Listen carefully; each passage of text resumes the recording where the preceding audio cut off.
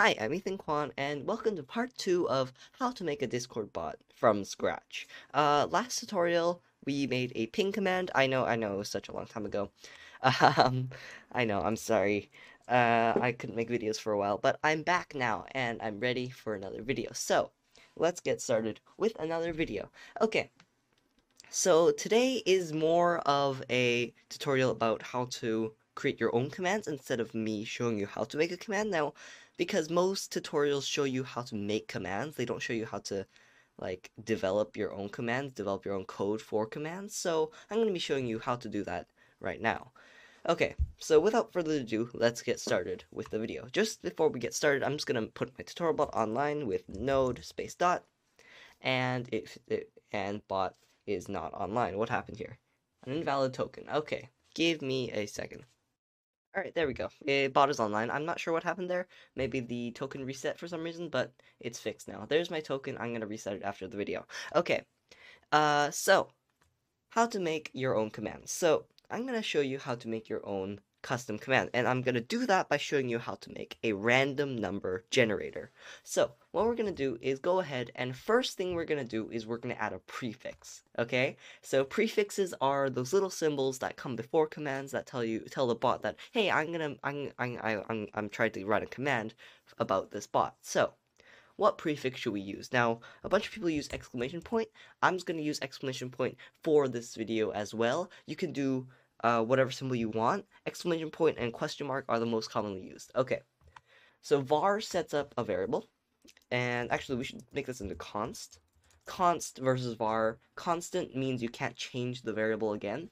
Um, const prefix equals string.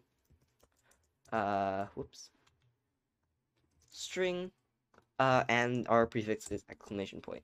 Okay, so first thing here, before we do this, what we're going to do is go ahead and type if message, this grabs the message, dot author, dot bot. This checks if the author of the message was a bot. If so, we don't want to do anything. So what we're going to do is if the message was a bot message, you're just going to uh, actually, you don't even have to do this. You can just go ahead and do return. Like that. Also, we're going to check if... Um, we're going to check if uh, message dot... Okay, and then we need to get a, uh, a, uh, a list of the words and the letters in our uh, message. So how we do that is we're going to go ahead and create a new constant variable, const message split and this is going to equal message.content. This grabs the content or the text of the message. Dot slice. Whoops, sorry. Dot slice. Uh, and then we're going to go ahead and do prefix dot length. This grabs the length of our prefix. In this case, since the our prefix is one letter, it's just going to say one. Dot split and this is gonna uh, separate our string with the character that we define, and the character we define is going to be a backspace, backslash, and then a plus, and then another backslash, like that. And make sure you get the spacing right on this. This is very important. Okay. And then finally, what we're going to do is we're going to say const command, this is the command that we want to run, equals uh, message split dot shift with two curly brackets, uh, just just two brackets, and then dot to lowercase. To lowercase basically makes the text into lowercase. Okay. And then what we're going to do is we are going to go ahead and uh, check if our message starts with our prefix. So, if not, and the the symbol for not is an exclamation point, so that means if the message dot uh, message dot uh, content dot starts with prefix. And if it and this this exclamation point right here says if the con- if the message content doesn't start with a prefix return. So that basically exits exits out of our command. Okay uh, we're gonna go ahead and change this message.content into command. And we're gonna yeah that's fine. Okay let's just test this right now uh just to be safe if it works. Um uh sorry exclamation point ping. Okay something went wrong. Aha okay so uh all we have to do is change this final bracket here. We have to just move that over here. Uh there you go. Oops. Okay. There you go. Node space dot run that again. Exclamation point ping. There we go. So it works exactly the same. If I just type ping, nothing will happen. If I just type exclamation point, nothing will happen. If I just do ping exclamation point, nothing will happen. It's only if our command starts with an exclamation point. Okay, that's how you get a prefix into your bot. Uh, next thing we're going to do is add this random command that we wanted. Okay, so first thing we are going to want to do is we're going to want to grab the arguments. Now, arguments are whatever comes after our command. So if we do ping, uh, and then, there we go. Uh, if we do ping and then some, like, right, this is argument number one. So it's separated from the command by a space, and then it's our argument. So we want a list of these arguments. And then, again, we can just, like, that's, an, that's our second argument. So we want a list of these arguments. So what we're going to do is we're going to try and do that right now. How do we get the list of arguments? Well, it's not too difficult. Um, so what we're going to do is we're going to go ahead and create a message array. Now that might sound very complicated, but it's not really complicated. It's just a list of our uh, words. Okay? So const message array equals message.content.split at the uh, just the space key. So just hit the space key there. And then just do a semicolon at the end.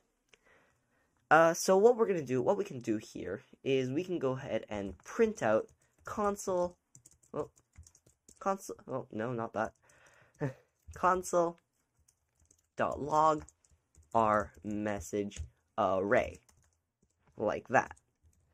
Uh, whoops, save that. Uh, refresh our bot, and then we can go ahead and do ping. That should work as normal, as you can see. As you can see, it returned our command back to us. But also, now what? Now let's see what happens. Ping esvil thegua orofo, right? If we enter that, that doesn't change anything about the command, but it returns every single uh, letter, right?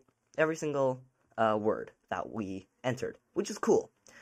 Okay, now we just need to split off the first word so that we don't we don't want p- exclamation point ping at part as part of our arguments, right? So what we're gonna do is we're gonna go ahead and do const uh, arguments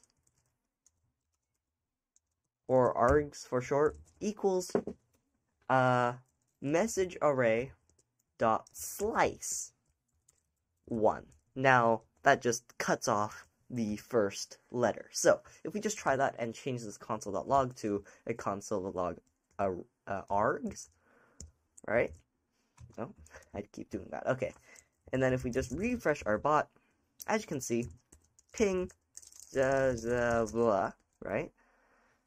Uh, it replies with pong, and there we go. So th- we don't have our exclamation point ping anymore in our argument list. Great. Okay.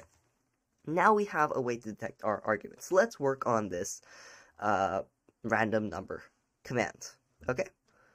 Um, so let's go ahead and create a new if condition. If, uh, I suppose we could have done a say command, which might have been a bit easier, but you know, well, we're gonna do a random command. So if command, uh, random, then uh, we're just gonna go ahead and return a random number from 1 to 100. So what we're gonna do is, um, for now, we're just gonna return a number from 1 to 100. So, um, message dot reply, right, with, um, we're gonna reply with, let's see, we're gonna reply with, uh, math, so math dot random, math dot random.